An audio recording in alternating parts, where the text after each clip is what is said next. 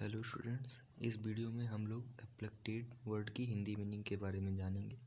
इसकी हिंदी मीनिंग है दूध छुड़ाना, या फिर छुड़ाना बोल सकते हैं। धन्यवाद।